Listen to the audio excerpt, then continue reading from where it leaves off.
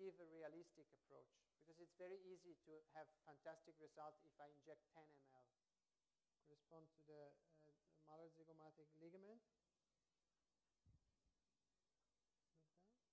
And you see a small, a small bunching here.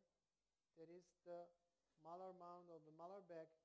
This is a no-touch area.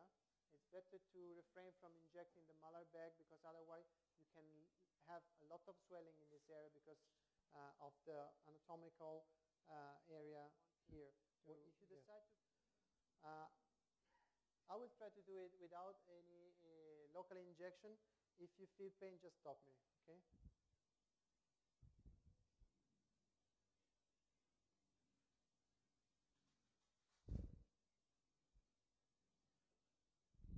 I will begin from, from the lateral area here, just to do some small vertical injections.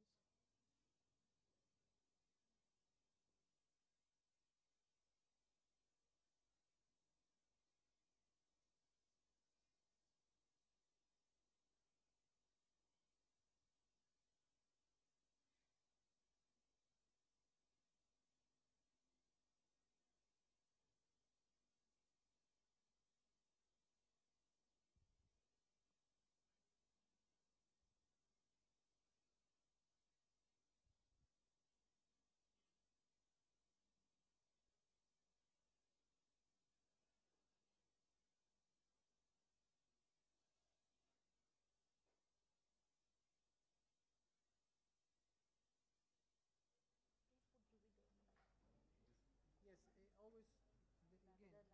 That five doing lines? doing flaps very superficial. For dog, this won't last. I wanted to put Juvederm here. Okay. but um, if you put this three or four one week later. No.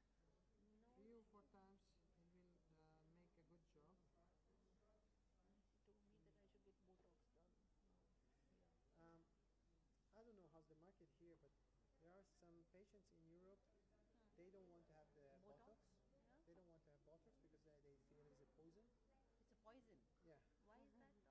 because uh, Toxin. What is it's a toxin. Yeah. Oh. So they they hear the, the word toxin. Uh, don't want the toxin. And um, We say it is a purified protein derivative. yeah, yeah, sometimes you have to say. Uh, So how do you decide upon the spacing of doing it? But actually, i- i- here you you you're doing like you're doing a filler. So uh, you follow the line and you begin your injection where you stopped uh, the previous one. Can we alternate the filler treatment, say a month later, with Fraxel rejuvenation? Uh, established, went away. You you you, you sup- yeah because she heard the Botox is fantastic. you support the malar region with these three points. Then you see in a young patient like her,